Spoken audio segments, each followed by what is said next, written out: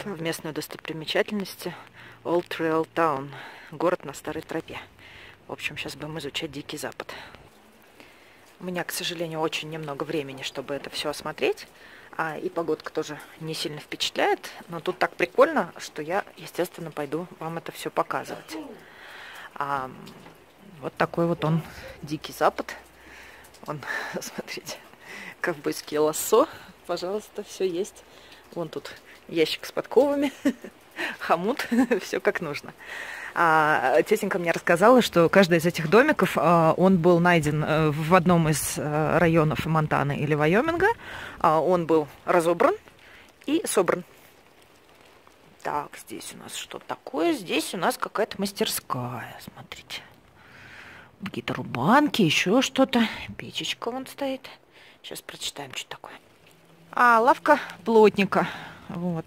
Одно из первых зданий э, в Коули, Вайоминг, которое было построено в 1901 году и использовалось Джорджем Таггартом, э, мормонский пионер, э, который приехал в э, бассейн Бигхорн, это вот этот район, который этот регион, э, на вагончике, вот как вот, помните, они все переезжали, телеги с вот крытые вот эти вот, в 1900 году. Вот кабина или как домик Кёрли, кэбин у них они здесь называются. Вот такие вот деревянные домики. И мой тоже номер в гостинице, тоже это называется кэбин. Избушка. Да, по-русски это называется избушка. Вот, смотрите, печка какая классная, старая.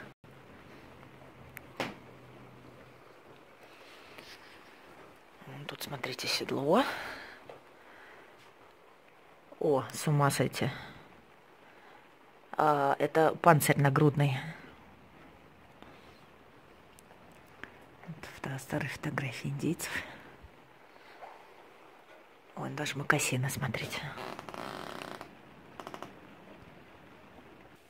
Керли был индейским охотником, сбежал из, из, битвы, из битвы маленького Бигхорна в 1876 году. Родился он в 1859, что ли, что такое.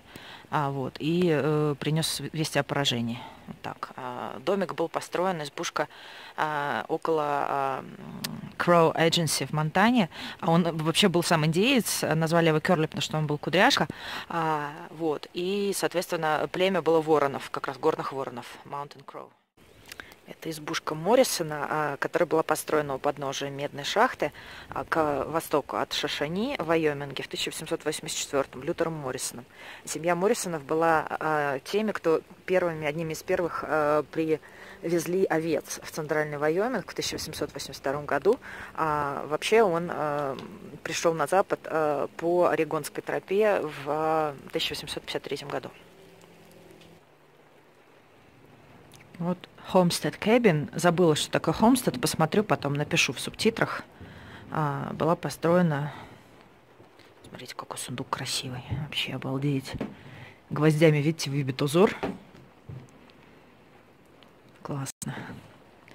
Да, видите, вот пятилучевые звезды безумно популярная в Америке. А, и у Техаса символ пятилучевая звезда. И вот везде, где ковбои, я постоянно вижу вот эти пятилучевые звезды. Ой, смотрите, даже пиванина стоит. Причем это, боже мой, я забыла, как физгармония называется. Вот, физгармония. Смотрите, с педальками. А, и вот нажимали на эти педали, и, по-моему, она сама играла, ее даже не надо было, э, как сказать, на ней не надо было играть, она сама в нее, по-моему, вставлялись мелодии, и она играла. Вот они в, салу, в салуне наверняка в каком-нибудь стояла, где крошки пели, что если ковбой прикажет, кто же ему откажет? Вот они ваши ножки. Вот над многими домами э, коровьи черепа. Черепа. Вот. Это значит буфало, э, охотников буфало, э, тоже избушка. Э, в охотничьем лагере была построена. Вот видите, вот типичные вот эти лоскутные одеяла, седла, э, коровьи шкуры, коровьи черепа везде в качестве украшения. Он тоже сундук, смотрите, какой интересный. Был деревянный, сверху обит тканью, укреплен вот полосками дерева. И металлические элементы вот у него всякие разные. Ну как. Смотрите, как он внизу, внутри устроен. Эти был обит красивыми обойчиками. Но уже, конечно, от вехоткости все, все осыпается. Школа Кофина. Кофин вообще это гроб. Интересно, в чем так называется. А, ну вот, смотрите. Какие парты потрясающие, смотрите, интересные. У них эти основания просто как у машинки Зингер, такие же красивые. Первый магазин в Шелл, Вайоминг. А, как видите, уже более высокое здание. Построен в 1892 году. О, как интересно. Тут все здорово. Печка. Прилавок. Причем, смотрите, а, видимо, совсем не так давно привезли, потому что наклейки явно это уже 20 века. А, сигары вон по 10 центов, Ройтан, реклама, обалдеть. А, да, то есть, видимо, долго-долго стоял, использовал. Смотрите, это кассовый аппарат. National Dayton, Агая, Соединенные Штаты. С ума сойти, друзья, как интересно. Прям касса. Ой, зеркало старое. Вон, смотрите, я в зеркале. Ну, там всякие товары типичные. Тоже, наверное, вот а, люди, которые там особенно в возрасте сюда приходят, они, может быть, даже что-то вспомнят там, ну, как минимум, у их бабушки наверняка стояли какие-нибудь из этих упаковок старенькие. Вот смотрите, тоже лоскутное одеяло, обувь продается, но обувь тоже это не это уже 20 век, это не 19 век стоит, и не начало 20-го. Вот, смотрите, такая вот шитая, красивая рубашка.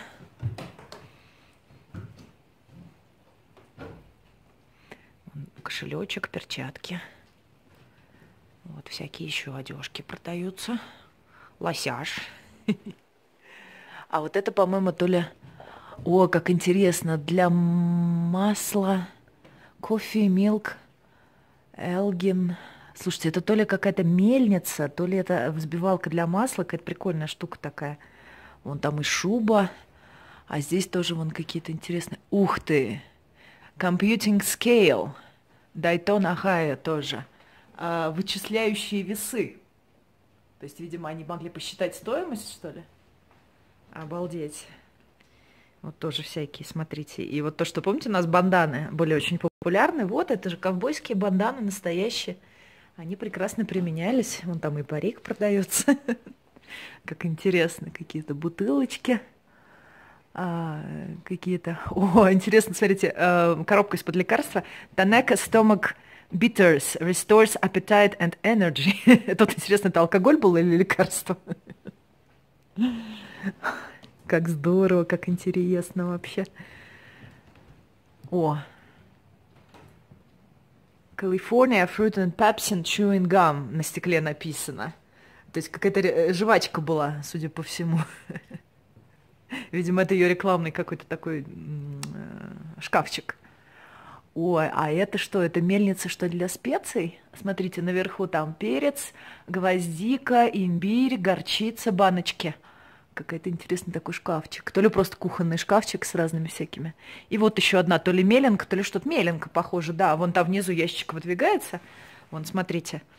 Внизу выдвигается ящичек, вот эту штучку крутишь, а сверху, наверное закладывается то, что молоть. Ой, как же круто, а. Вертящееся кресло, лампа керосиновая, все прям, все по-настоящему. Ой, заметьте, прикол фальш-фасады.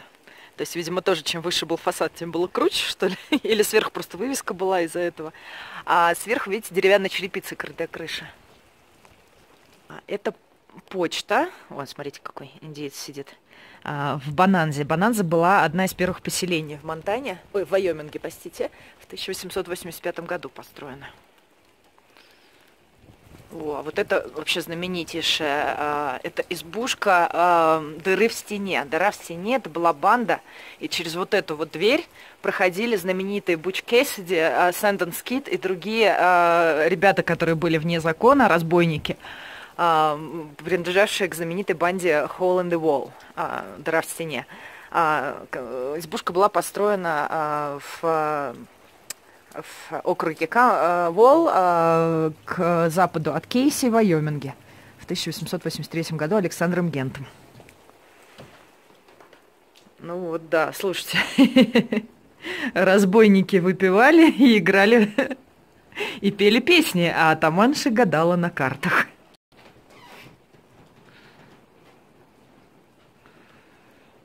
Как здорово.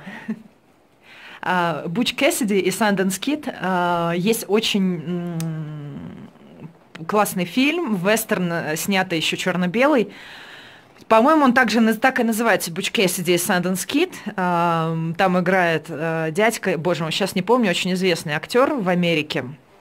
А, хуже того, а, существует даже Sundance Film Festival, а, фестиваль фильмов в Санденсе. Санденс это в том числе населенный пункт, я в нем была. И, как же, господи, очень дядька известный их актер. Пожилой уже очень, я не знаю, жив еще или нет. Вот. Ну, в общем, да. А, короче, снят фильм «Вестерн с ковбоями», и там еще песня такая, она довольно известная, там «Raindrops falling on my head». Пам -пам -пам -ба -ба -ба -ба -бам. Очень такая прикольная. Вот.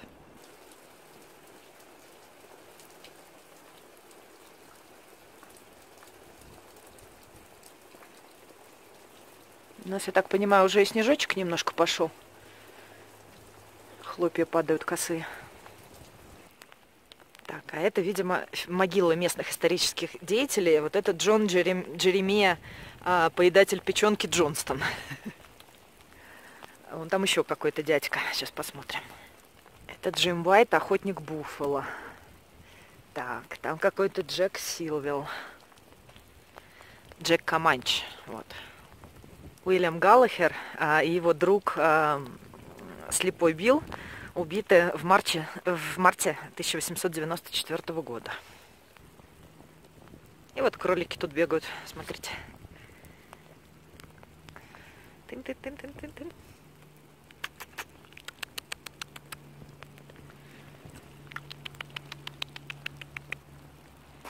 Кролик, ты где? Вон он притаился. Вон он притаился, сидит. Да, животина? Я тебя вижу. Я тебя обижать не буду, но я тебя вижу. И обязательно я тебя пофотографирую. Ту-ту-ту-ту-ту. Пусть какал он от меня. Пусть какала от меня морда. Хвостик беленький поскакал. Ой-ой-ой-ой. Все, убежал. Тык-тык-тык-тык-тык-тык-тык-тык-тык-тык-тык. Оп. Избушка Уиллистого ручья, 1897 год, использовалась Кидом Карри и Санденс Кидом а, как укрытие перед тем, как они предприняли попытку а, захватить в банк в Ред Лодж в Монтане. Какие-то баночки, скляночки. Это аптека, что ли, была? Похоже на аптечный прилавок. Вон еще тоже, смотрите, какой сундук седло. Вот могу поближе вам ковбойское седло поснимать. Смотрите, тут кармашки для всяких мелочей. Вот такой вот, видите, с такой высокой лукой, за которую можно держаться. Тут тоже всякие а, штучки-дрючки. Ой, смотрите, какие а, сделаны цветочки на нем красивые. Так, что тут у нас еще хорошего? Стол. Слушайте, интересно, он раздвигается, что ли? Да, похоже, раздвижной стол. Так, что у нас тут хорошенького? Стол, стулья. Ну, кстати, народ-то не крупный был. Смотрите, мебелюшка мелкая совсем. Вот я сейчас попытаюсь свою руку поближе поднести. А, ну, где-то вот сейчас полметра от моей руки до стула. Видите, вот совсем небольшие. Печечка. Да и кроватка, в общем-то, тоже не самая большая, друзья мои, я вам так скажу. А одеялка прямо аутентичная, прям настоящая одеялка. Вот так. О, каретный сарай. Тоже неизменные сундуки на повозках. Коляски, я бы сказала, что это. Тут какая-то всякая каретная приблуда. Ну, гараж. Нормальный такой гараж. Он там под потолком тоже всякая фигня висит. Видимо, очень нужная. Так, давайте смотреть, что у нас тут еще есть холод собачий, аж снег начался. Ужасно обидно, что испортилась погода, но ничего, все равно интересно. Вот еще одна какая-то а, избушка а, была построена на реке Вуд а, к западу от э, Метитси в 1899 году. Вот. Как раз очень такой хороший пример, как сказать, строительства, деревянного строительства. Вот, наверное, вот так мы это назовем. И тут вот фотки, которые, видимо, рассказывают тоже об истории Дикого Запада. И как тут у них все происходило. Вон какие-то интересные такие это снегоступы, что ли. Какие-то такие классные штучки. Наверное, эти то, что называется. Типа лыж конструкция. Вон печечка, смотрите, вон внизу поддувало. Ящички. Так. Estate Deck. Как-то она так интересно называется. Красивая печка. Вон даже медведь. Вот тут я на фотографиях увидела, что те могилы, которые я вам показывала, это перезахоронение. Вот эти все герои, которых а, я там вам показывала могилы, а, а, очевидно, тут какая-то большая трагедия произошла и довольно известная история. Я тут даже сейчас несколько писем прочитала одного из героев этой истории. А, как обычно, они там, по-моему, женщину не поделили. ну, в общем, да. И, видимо, настолько они были почитаемы и уважаемы, что вот, да, склепики, гробики, саркофагики, вот они прям э, находили вот этих старых э, героев, их места захоронений и перезахоронили вот здесь всех вместе в одном месте. Вот там вот этот вот Вильям Галлахер, да, про которого я вам говорила, они с особой гордостью отмечают, что вот смотрите, вот у него здесь след от пули, там в предыдущих фотографиях тоже там в черепе показан был а, след от пули 50-го калибра. вот. вот этот Стилвелл Джек. А, ну, то есть, видимо, слушайте, надо мне почитать, что у них тут происходило, всю эту чудесную историю. Вот этот Джеремайя, э, поедатель печенки Джонстон. А вот это вот вещи знаменитого их вот этого Билла Гарлоу Коди, а, который сделал знаменитым Дикий Запад. Он ездил с шоу по всей Европе и показывал вот эти вот шоу Дикого Запада и популяризовал это очень сильно. И это вот первый карабин, с которым он фотографировался еще до того, как вообще вся эта история началась, когда там вот это вот охотник бил, вот это все было придумано. Тут вот выставлены последние письма вот этого Вильяма Хулигана, к своему отцу и к какому-то дядьке, который, видимо, должен был разобраться в деталях убийства, которое здесь произошло, и он пишет, что мне уже недолго осталось, вот 5 апреля 1894 года.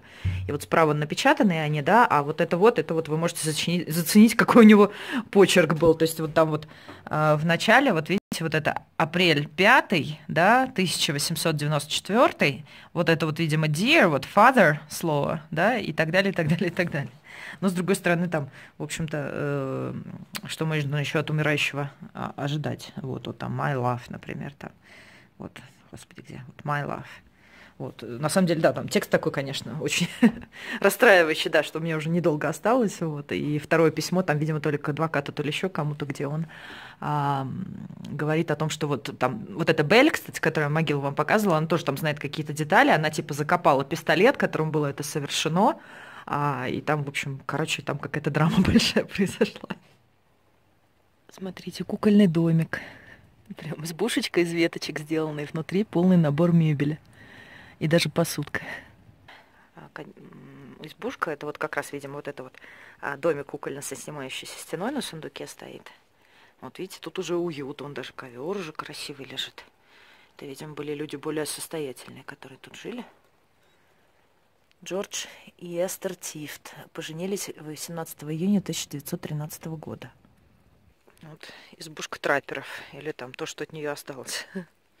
К сожалению, видите, совсем уже там остатки. Тут вот, к сожалению, заперт а, избушка мэра. Вот. Дом Фрэнка Хокса, первого мэра Коди Вайоминг. Это вот тот город, в котором я сейчас нахожусь. Была построена в 1897 году. А это вот большой ангар, я бы сказала, даже а, тележный и каретный. Вот, смотрите, даже сани, кстати, стоят, видите? Интересно, как коляски, экипажи всякие разные.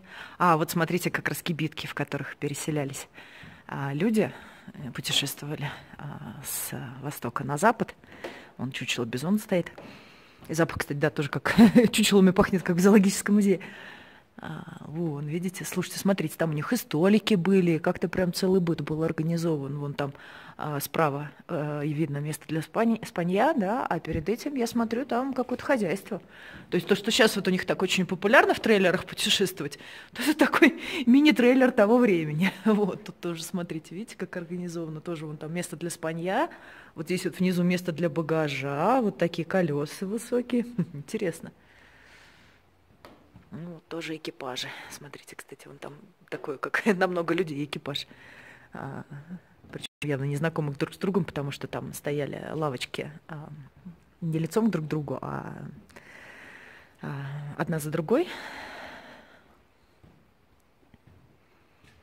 Ну, как интересно. Ой, а вон, смотрите, еще даже не до конца ободранная, очень хорошо сохранившаяся кибитка. С ума сойти. Как интересно. Вот, смотрите, они были таким холстом обтянуты, эти кибиточки. Дверка с замком. То есть, на самом деле, такой вот домик на колесах был очень такой вполне себе нормальный. Вот там фонарик висит на ней. Все это там было не такой шаткой и хрупкой, как я думала. Прям вполне себе дом. Вон там в изголовье полочка. Все как надо. О, а это, смотрите, э, швейная машинка стоит. Класс. А это выставлены разные типы колючей изгороди. Я даже не думала, что они действительно чем-то отличаются принципиально. А это кузница. Тут почему-то тоже стоят а, коляски. Ну, видимо, тут очень много колясок, поэтому они их составляют везде. А так, да, по идее, это кузница.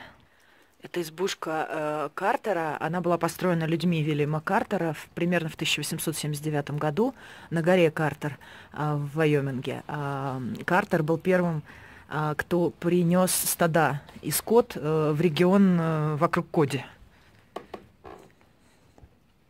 Ну, слушайте, ну прям вообще, прям хорошо.